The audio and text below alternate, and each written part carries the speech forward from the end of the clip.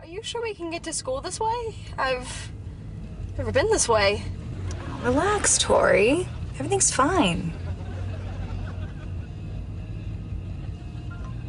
Weird. My phone's not getting any signal.